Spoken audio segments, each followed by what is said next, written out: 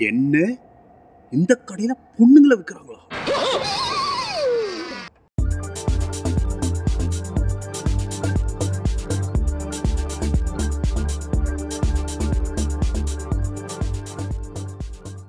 Hi மக்களே. This is Jo welcome to my channel blah with Jo okay இன்றைக்கி நம்ம எதை பற்றி பேச போகிறோன்னா um, மும்பையில் நடந்த ஒரு இன்சிடெண்ட் எனக்கு நடந்த ஒரு இன்சிடெண்ட்டை பற்றி okay so I did my MBA from Welingkar's business school in Mumbai okay so என் பேட்சில் I was the only South Indian மற்றவங்க எல்லோரும் they were from Mumbai or northern regions beyond that இதை நான் ஏன் சொல்கிறேன்னா uh, நான் ஸ்கூலில் ஹிந்தி படிச்சிருக்கேன் as a second language so தியரியாக Hindi படிச்சிருக்கேன். ஆனால் பெருசாக அவ்வளோ பேசினதெல்லாம் கிடையாது. ஸோ நான் மும்பையில் ஃபஸ்ட் டைம் போகிறேன் சென்னை விட்டு ஃபஸ்ட் டைம் வெளியில். ஓகே பாஷை பெருசாக தெரியாது. ஸோ அங்கே நான் போய் காலேஜ் ஜாயின் பண்ணேன். ஸோ காலேஜ் ஹாஸ்டலில் தான் தங்கிட்டு இருந்தேன் மும்பையில் தான் மும்பை ரெயின்ஸ் ஆர் ப்ரெடி ஃபேமஸாக அங்கே மழை அடித்தா வேறு லெவலில் அடிக்கும். அது மாதிரி ரெயின்ஸு சரியா?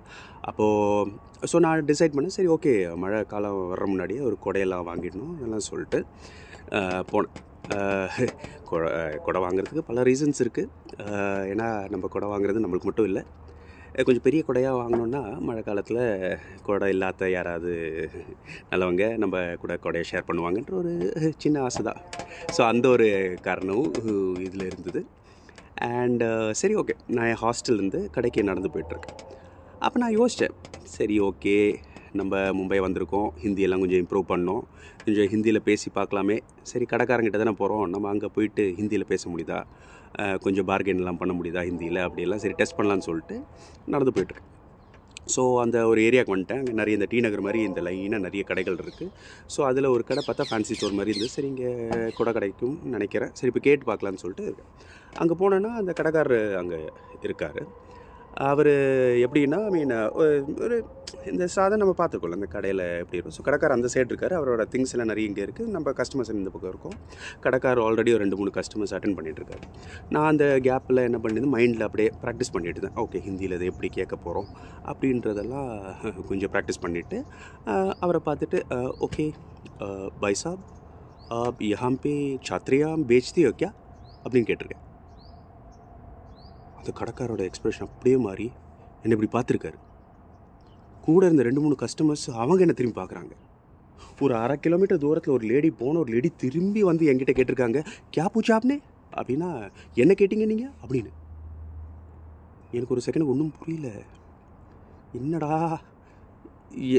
நான் அப்படி என்ன கேட்டேன்? இவங்க எல்லாரும் என்னை இப்படி பார்க்குறாங்கன்ற இதெல்லாம் மனசை ஓடிட்டுருக்கு ஐயோ இங்கேருந்து ஃபஸ்ட்டு எஸ்கே அதுக்கு நான் அவரை பார்த்து பாய் சாப் அம்ரலா?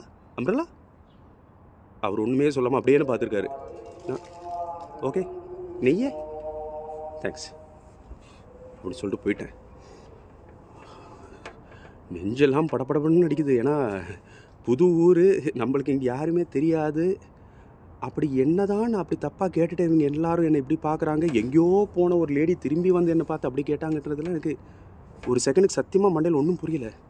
ஃபஸ்ட்டு அங்கேருந்து கிளம்பலான்னு சொல்லிட்டு போயிட்டேன்.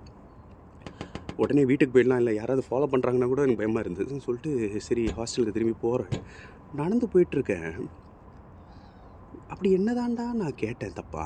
கூட தானடா கேட்டேன். அதுக்கு ஏன்டா?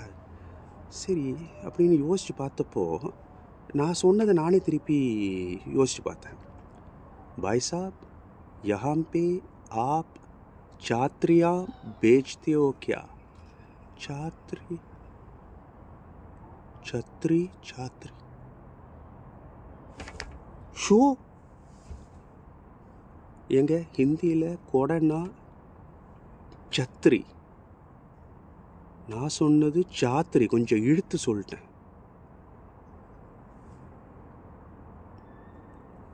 ஹிந்தியில் சாத்ரானா ஸ்டூடெண்ட்ஸ் சாத்ரினா ஃபீமேல் ஸ்டூடெண்ட்ஸ் அப்போது நான் அந்த கடைக்காரங்கிட்ட போய் கேட்டது அண்ணே இங்கே நீங்கள் பொண்ணுங்களை விற்கிறீங்களானேன்னு கேட்டிருக்கேன். சுற்றி பார்த்து யாராவது ஃபாலோ பண்ணுறாங்களா இல்லைன்றது போய் பார்த்து குடுகுடுன்னு ஹாஸ்டலுக்குள்ளே ஓட்டேன். அன்னைக்கு ஒரு விஷயம் வாழ்க்கையில் டிசைட் பண்ணுங்க. கொடை அடுத்த தடவை வாங்குறதா இருந்தால் இங்கிலீஷ்லேயே நான் கேட்டு வாங்கிடுறேன். ஹிந்தியை நான் வேறு எதுலையாவது பேசி நான் ப்ராக்டிஸ் பண்ணிக்கிறேன். இந்த விஷயத்தில் மட்டும் ஹிந்தி பேசக்கூடாதுன்னு சொல்லிட்டு அன்றைக்கி முடிவு பண்ணேன். ஏன்? சென்னையில் வாங்கின அடியெல்லாம் பத்தாதா? மும்பையில் எனக்கு வந்து ஃப்ரெஷ்ஷாக எனக்கு புதுசாக வாங்கணுமான்னு எல்லாம் மனசில் ஓடிச்சு. அன்னையோட என்னோடய ஹிந்தி எக்ஸ்பெரிமெண்டேஷன்லாம் பெருசாக விட்டுட்டு இங்கிலீஷ்லேயே ஓரளவுக்கு பேசி எல்லாம் மேனேஜ் பண்ணி என் வாழ்க்கையை ஓட்டிகிட்டு இருந்தாங்க. எப்படியோ இது மாதிரி எல்லாம் கஷ்டப்பட்டு நான் படித்து எம்பி எல்லாம் பாஸ் பண்ணிட்டு எவ்வளோ சீக்கிரம் அங்கேருந்து கிளம்ப முடியுமோ கிளம்பி திரும்பி சென்னைக்கே வந்துட்டேங்க. இன்றைக்கும் யோசிக்கும் போது அந்த கடைக்காரனை நினச்சா எனக்கு கும்பிடணுன்னு தோணுது. தருமடி வாங்க வேண்டிய கேஸ் இதெல்லாம் ஜஸ்ட்டு மிஸ்ஸில் எஸ்கேப் என் வாழ்க்கையில். ஸோ இந்த ஒரு ட்ராஜடிலேருந்து எக்ஸ் ட்ராஜடியாக இப்போ யோசிக்கும் போது காமெடியாக இருக்குது சொல்லும் போதும் கொஞ்சம் சிரிப்பெல்லாம் வருது. அன்னைக்கு வாங்கியிருந்தேன்னு வச்சுக்கோங்களேன். ஐயோ என் மூஞ்சி இப்போ நான் பார்க்குற மாதிரி எல்லாம் இருந்திருக்காது. மாதிரி. Anyway that was a really funny incident that happen in my life இது மாதிரி ஏதாவது அனுபவங்கள் உங்களுக்கு எதாவது இருந்திருந்தால் கண்டிப்பாக கமெண்ட்ஸில் சொல்லுங்கள் anyway until next time I meet you in another video this is Jo signing off bye